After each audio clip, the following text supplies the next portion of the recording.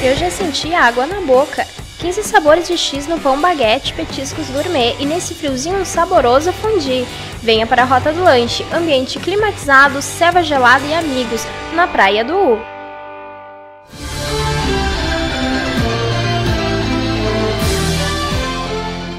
Durante reunião realizada nesta semana entre o prefeito de TAP, Silvio Rafael, e o presidente do Sintaps, Claudinei Kubiak, a pauta sobre o reajuste no auxílio alimentação foi debatido. Em conversa com a nossa equipe, o presidente do Sintaps relatou que não houve nenhuma proposta por parte da Prefeitura para um reajuste neste ano. O reajuste que teve foi o da inflação normal, né? E, e junto a gente teve em três anos dele 3% de ganho acima da inflação. 3% de ganho real. Isso também incluiu o Vale Alimentação? Isso acompanhou também o Vale Alimentação. A nossa, o nosso auxílio alimentação. A nossa grande luta é que na época que foi criado já ficou um valor uh, pequeno. Qual é o valor? Na época ele era 5,20 por dia. Né? São 22 dias úteis, então ele dava em torno de 135 reais. Hoje está 149 reais.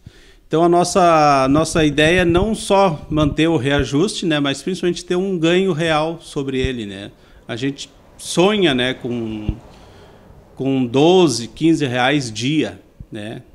Não vou nem dizer que vou comparar com o da Câmara, que seria o correto, mas a diferença do legislativo para o executivo a nível financeiro é muito grande, né?